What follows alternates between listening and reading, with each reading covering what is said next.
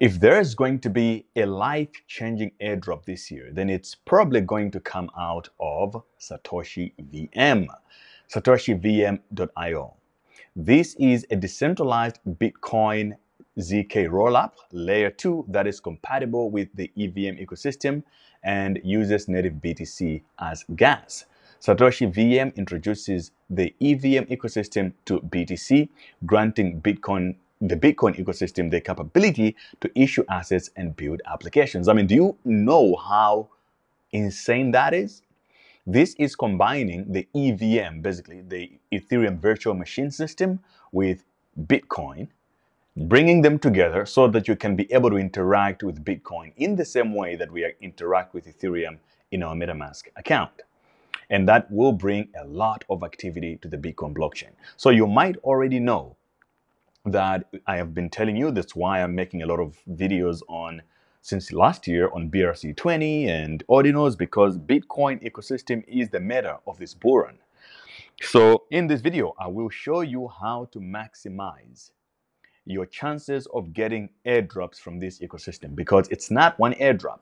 This is a blockchain as a whole. So I believe they will do their own, um, they will drop their own token, obviously, and there will also be other projects that will be launching on top of Satoshi VM. It's similar to uh, what is Arbitrum or, or Polygon on Ethereum, but this one is basically much more saucy than that. So let's move on and I will show you guys how to maximize the chances of getting your airdrop to get more tokens because you know let's say you get 1000 tokens and the, the coin goes to a dollar max. Well then you only have a thousand dollars. We want to make hundreds of thousands of dollars if not millions from these airdrops. So you need to do certain things to make sure that you get a lot of tokens. So you can see here that the testnet is actually live. So the blockchain is active on testnet meaning that developers are able to test things daily transactions right now at $120,000 and things are happening so fast. So the way you maximize, one of the ways you maximize how many tokens you're going to get is also maximizing your activity. You have to be doing more on that specific blockchain. And two, you want to have multiple wallets. All right. So first, let's look at how can you be active on the Satoshi VM to maximize your chances of the airdrop. All right, so first, if you go to um, Satoshi VM itself on the website and you go to Bridge right here, it will take you to this page.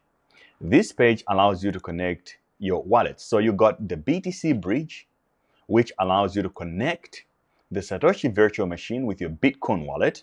However, this is currently on the testnet version. So you need testnet versions of Bitcoin, which you can get from a Bitcoin faucet. They're free.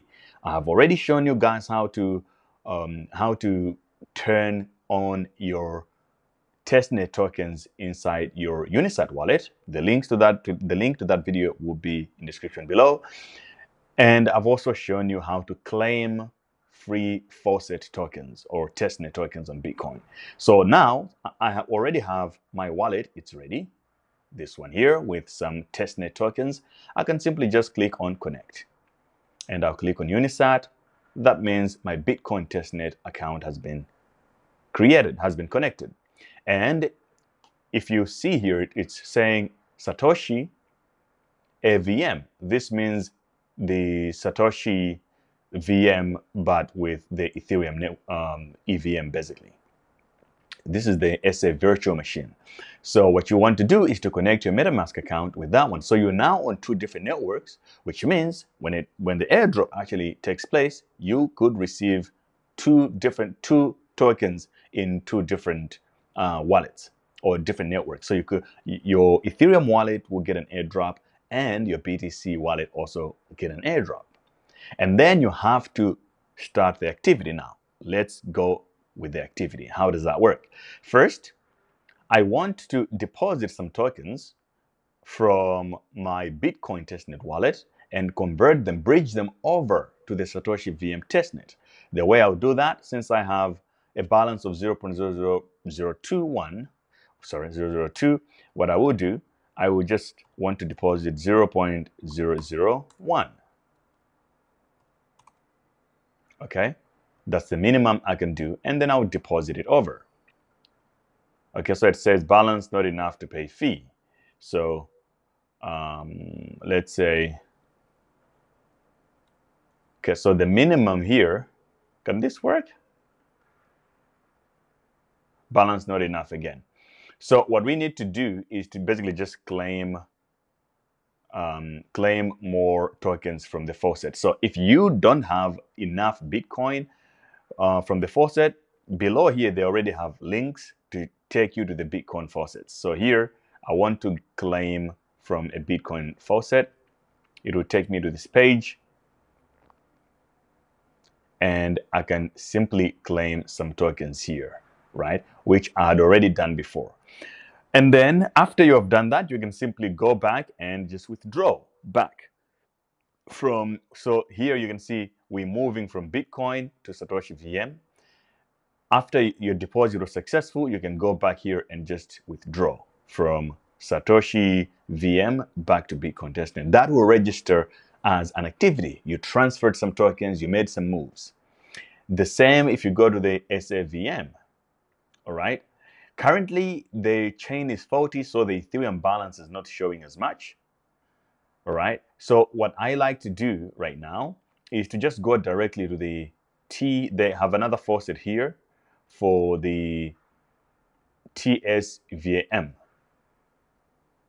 So when you click that, it's automatically giving you some Satoshi VM testnet tokens immediately. They give you 0.21. Okay, so very soon that should be able to show up in your wallet. And when that happens, let's see if it shows up just yet. Not yet. Takes a little bit of time. When that happens, you can now bridge those tokens over from, okay, so here we go. We already received them. This is uh, from our Ethereum Sepolia wallet. We can now say transfer 0.1, deposit it over into the Satoshi VM. Approve. And that has now happened. So imagine if I'm waking up every morning, I have a bunch of wallets and I have all the time in the world and just doing this. I put my little brother on, my sister, everybody. I mean, we can maximize this. So if you, especially if you have multiple devices, you just keep on doing things like this, experimenting, you would end up with a big bag when the airdrop actually finally takes place. So I recommend you guys do a lot of this stuff. And then I can go back to the BTC bridge here, all right, and try to withdraw if I have any tokens um, it, from the Satoshi VM on the Bitcoin side, right? So just remember, you want to get some tokens from the faucets, deposit them into your wallet, and then you want to be just making transaction. Deposit it from here to here, and then go back, withdraw from this side to the other side. And then you switch over to the Bit to the Ethereum one, you also do the same. All right we're still waiting for this one to show up here because we uh, converted if we bridged 0.1 from here to Sepolia so we just have to wait a little bit. So that's all you do until applications start showing up and you can now start using uh, real platforms to allow you to do active real trading with mainnet tokens on Satoshi VM. When that happens, you will know, right? If you're following this channel and you follow me on Twitter or you're part of our newsletter, you receive all the emails, then you'll be one of the first people to actually get involved with that. And then the chances of your airdrops just keeps on increasing. So this is something that nobody is talking about. You know, I don't understand why, but I think a lot of people deserve to know this to take advantage of it. If you want to get some more faucet tokens, like I said, use these links below here to claim a bunch of tokens. All right, so we received our 0.1 here. So what I'll do, I'll just withdraw, let's say 0.05 instead. I'll withdraw it and it will move back to Okay, so here um, it's asking me to actually switch my network from Sepolia to Satoshi VM testnet because currently I am on Sepolia, but I'm trying to move or sign a transaction that is moving from Satoshi VM testnet to Sepolia testnet. So here we go. And the reason why Satoshi VM is using Sepolia is because it's on Bitcoin, which is proof of work. So it's approving the transaction, and then after that, it's so it says sufficient balance. You probably just have to try it again and things like that. But yeah, keep active. Eventually, you can go to your history and see all the transactions that you've been conducting. Like right now, there's a transaction, it's depositing, it's not completed. That's why it didn't work for us.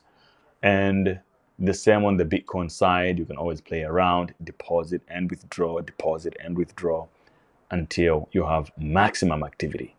All right. Lastly, I just want to thank our sponsors, CoinW. These guys are doing incredible work supporting education in crypto, but also having an incredible trading platform for you as traders. You can copy trade on there, you can trade crypto, ETFs, and if you create an account using our link in the description below, there is bonus up to $3,000. If you create an account, deposit and start trading. And you don't even need to do KYC to start. Like many platforms will ask you KYC, these guys don't do that.